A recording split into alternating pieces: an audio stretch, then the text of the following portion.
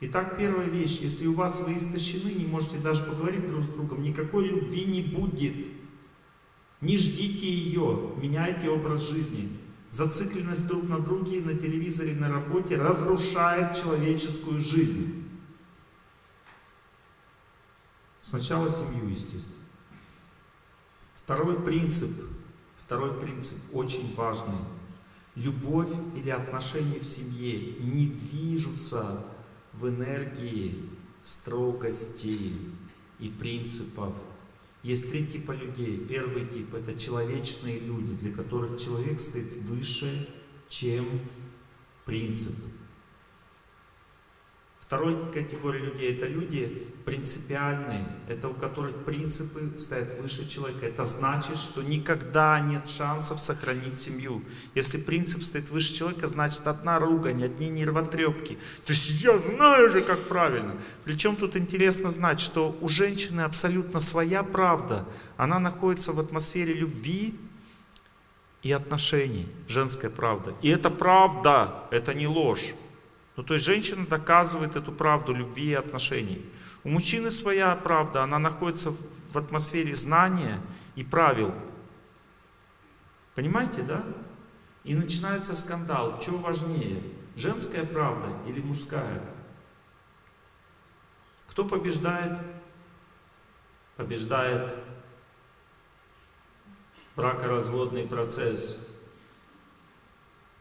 Победителей в такой войне нет. Тогда сразу возникает вопрос, а где же правда?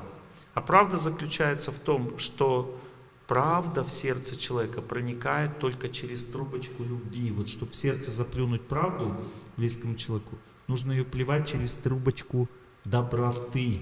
Запомнили? Доброты. Ну, то есть это значит, что вы сначала принять должны человека близкого. Что такое доброта? Сначала принимаешь, а потом действуешь вопреки своей правды. Вот послушайте, вот как я делаю. Допустим, жена на меня обиделась. Я точно знаю, что я прав, она не права. На сто процентов. Я иду и говорю, прости меня, я не прав. Она мне говорит, ты на лекциях говоришь, что ты чувствуешь себя правым. Поэтому я тебя не прощу. Я говорю, нет, в, в этот раз я так не чувствую, чувствую, что ты права. Хотя сам чувствую, что я прав. Обманываю ее. Спрашивается тогда, что это за такая жизнь, зачем обманывать? Правда стоит ниже любви, запомните. Всегда и везде, во все времена. Нет любви, нет правды. Если ты, допустим, говоришь человеку правду без любви, значит это ложь. Ну, допустим, Человек от твоей правды может, допустим, умереть, у тебя там у него рак, а ему нельзя знать, он еще ну, быстрее умрет от этого. Тогда не надо говорить правду. Любовь стоит выше правды всегда. Запомните это. И потом правда выходит наружу в результате любви. Сейчас, как у меня, в моем случае это выходит, сейчас объясняю. То есть женщина, во-первых, не может быстро прощать, надо несколько раз просить прощения. То есть я вот на третий раз, она на второй раз говорит, прощу завтра. На третий раз, это сегодня уже прям, третий раз через час, она говорит, я тебе прощаю, спасибо тебе, обнимает меня, говорит, ты у меня самый лучший. Все. И в этот момент, как только она так делает, что происходит? Знаете, что происходит? Я начинаю понимать, почему она обиделась, даже несмотря на то, что она мне об этом не говорит. А если спросить, она об этом так же и скажет. Понимаете, да? Ну, то есть знание приходит о том, что правда где-то посередине находится, только после того, как ты принял другого человека. Вместе с его правдой простил его, сам прощения попросил. И дальше ты узнаешь о том, почему он так считает, в чем его правда заключается. Поэтому знайте, что отношения между мужем и женой, и также с детьми со своими, имеют только мягкую, добрую природу.